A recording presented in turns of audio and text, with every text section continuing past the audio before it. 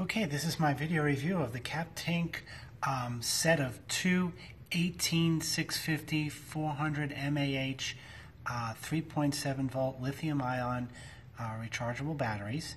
And um, these are great batteries for a variety of different um, lighting type tools.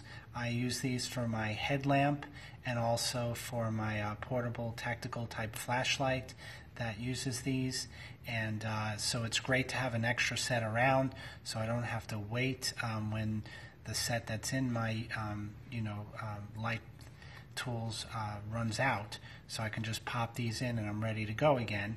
And uh, as you can see the um, charger uh, has red lights to show that the batteries are charging and um, this charger also has an over voltage protection and also protects the batteries from being drained and uh, short circuited or anything like that.